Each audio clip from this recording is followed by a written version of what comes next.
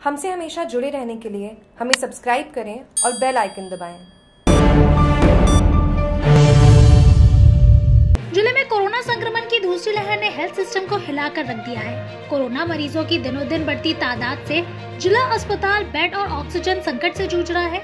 हाल ये है कि इमरजेंसी से बाहर खड़े लोग दम तोड़ रहे हैं। इमरजेंसी में एक बेड पर दो दो मरीजों का तो इलाज चल रहा है। कई मरीजों का इलाज फर्श पर चल रहा है। कोरोना की दूसरी लहर ने स्वास्थ्य सिस्टम को ही हिलाकर रख दिया है। जिला अस्पताल में इतनी बड़ी डॉक्टरों की फौज के बावजूद भी व्यवस्थाओं का दम घुटने लगा है। हालात ये है कि कई मरीजों के परिजन ऑक्सीजन लेकर इधर से उधर जा रहे हैं तो किसी मरीज़ का इलाज फर्श पर चल रहा है। एक बेड पर दो मरीज़। जिला अस्पताल के बेड फुल हो जाने के बाद ही अस्पताल में व्यवस्थाओं ने दम तोड़ना शुरू कर दिया। आलम ये है कि एक ही बेड पर दो दो मरीजों को सुलाकर उनका इलाज किया जा रहा है। अस्पताल में इमरजेंसी सहित पूरे वार्ड फुल हो चुके हैं। कई मरीज़ फर्श पर सोकर अपना इलाज करवा रहे हैं। अस्पताल के हालात बेकाबू होते जा रहे हैं। परिजन ऑक्सीजन सिलेंडर लेकर घूमते नज़र आ रहे हैं। जिला अस्पताल में बेड फुल होने के बाद पास ही के बालिका छात्रावास में बेड लगाए गए हैं।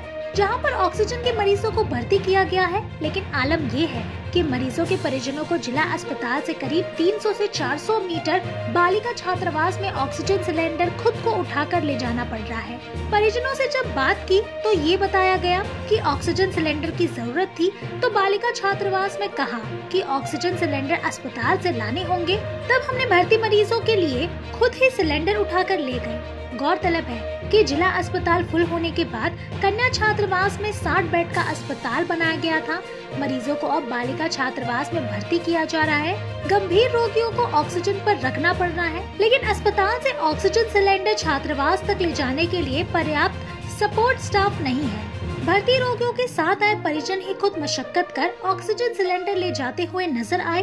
जबकि 90 किलो के ऑक्सीजन सिलेंडर को इधर उधर करने के लिए दो से तीन लोगों की ज़रूरत पड़ती है। जागरूक टीवी की खास रिपोर्ट।